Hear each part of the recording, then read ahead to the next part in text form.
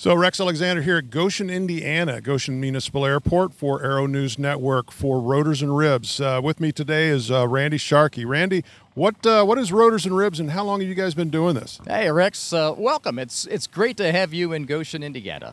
Rotors and Ribs has become one of the largest helicopter fly-ins in the country. How long? I think this is our seventh year here at the Goshen Airport, and it has been going great. We're just so thrilled for all of the support we've gotten, for all of the participation. We're just really hoping for, you know, somewhere between uh, 30 and 50 helicopters today, Rex. That's fantastic. Yeah, we have them flying in already. It's great to see them coming in early. So, one of the things you're attempting to do today is actually set a record. Tell me a little bit about that. It is. It's something that we've been thinking about. What can we do to attract helicopter pilots to come to this event? Besides feeding them ribs, you know, that's a big deal. So, we have what we are going to do today is attempt the Guinness Book of World Records and it's a brand new category, and that category is the most helicopters in a hover flight at one time. Now, again, there is not a current record. This would be a new one. And we've been talking to Guinness, and they've told us get as much video as you can drone shots, ground shots.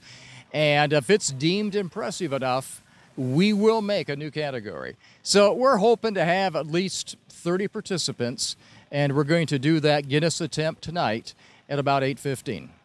That's fantastic. And this is the seventh time, so I'm assuming you're going to have an eighth time probably next year. Oh, absolutely. This this Rotors and Ribs has become so popular. Uh, we're thrilled to have HAI on board with us this year. They are one of the major sponsors. They've been the one driving this so hard this year because they don't have an HAI show anywhere in the Midwest.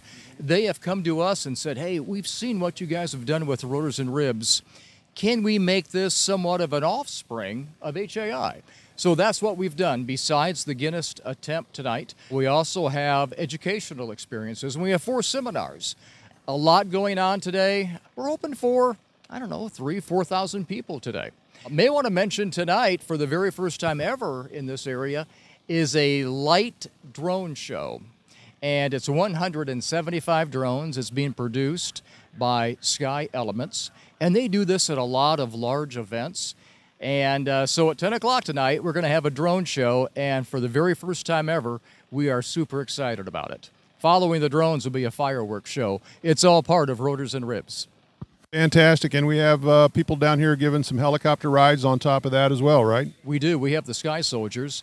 Uh, they're from Atlanta. That is the Army Aviation Heritage Foundation. They have always been supportive of what we're trying to do. So they've, they've come today with two Hueys and a Cobra helicopter, and they're offering rides all day long. Fantastic. Well, there's uh, definitely something for everybody. If you're a helicopter pilot and you're not here this year, definitely put this on your calendar for next year.